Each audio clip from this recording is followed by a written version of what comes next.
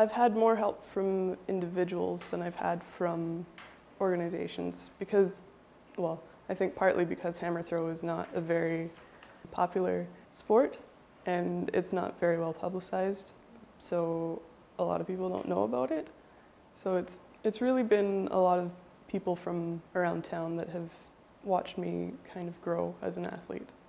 I'm sponsored with Running Room, and they give me shoes for running, and uh, they give me every every year. They give me 12 pairs to run and racing flags, spikes. They give it to me. Um, uh, track suit, everything I want for running, and and when I when I apply for race, want to run maybe Toronto somewhere, so I, so they sponsor me with the flight, they sponsor me with everything, budget money. So I feel like I just have a lot of opportunities. When you go to some of these major events, you're, you're talking you're spending five or six thousand dollars to travel there. So you're either fundraising as a team to raise that money, or you know, coming up with that money yourself. We've done everything from raffles. I remember one year we, uh, uh, one of the girls' families had uh, sugar beets, and we went out and hoed sugar beets for a weekend and made made money as a team. So it took us quite a long time to find our our, our niche, uh, I guess, of what we want to sponsor, and it's really surrounding uh, uh, youth and community.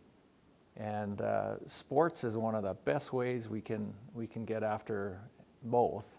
A sporting event like a summer uh, games or a winter games is just fantastic for that because the whole community gets behind it and, and we get to be part of it.